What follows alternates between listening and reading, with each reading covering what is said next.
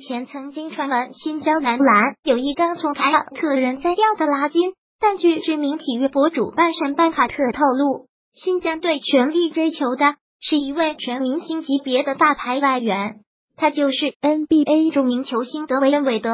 这位爆料准确率非常高的名博表示，据可靠消息源确认，新疆队正在与德维恩·韦德密切接触，力争新赛季将他留在 CBA。此前我报道过的 NBA 全明星级外援人选正是韦德。昨晚看过推送文章的，应该已经知道了上赛季的失意，让新疆男篮高层非常不满现状，从主教练到外援统统更换。主帅李秋婷换成了外籍主教练戈尔，大外援从布拉切换成了有姚明克星之称的埃尔杰弗森。除了这些大手笔，新疆队还毫不松手，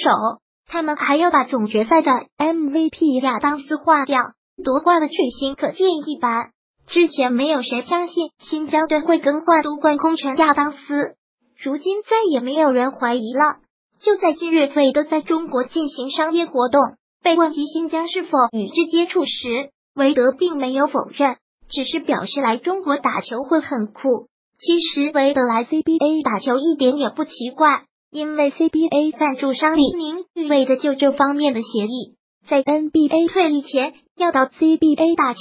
快了，韦德有这方面的协议，新疆队又有追逐超级大牌外援的意向，与韦德走得越来越近，已成为不争的事实。在今天的访谈报道中，主帅哥明确表示，